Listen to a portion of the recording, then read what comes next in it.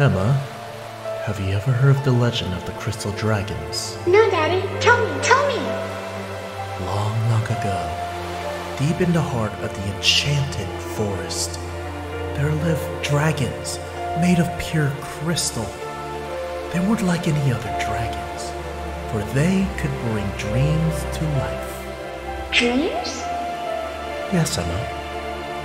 These crystal dragons could turn dreams into reality.